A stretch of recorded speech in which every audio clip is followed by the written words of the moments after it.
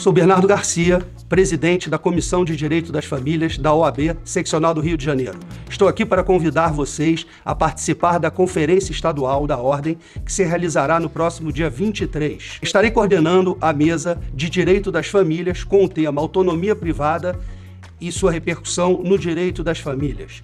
Contaremos com a presença dos professores Sandro Gaspar e Marcelo Santoro e da doutora Fernanda Leitão. Contamos com a presença de todos vocês para celebrar o mês dos advogados. Fiquem atentos às notícias e os andamentos nas redes sociais da Ordem.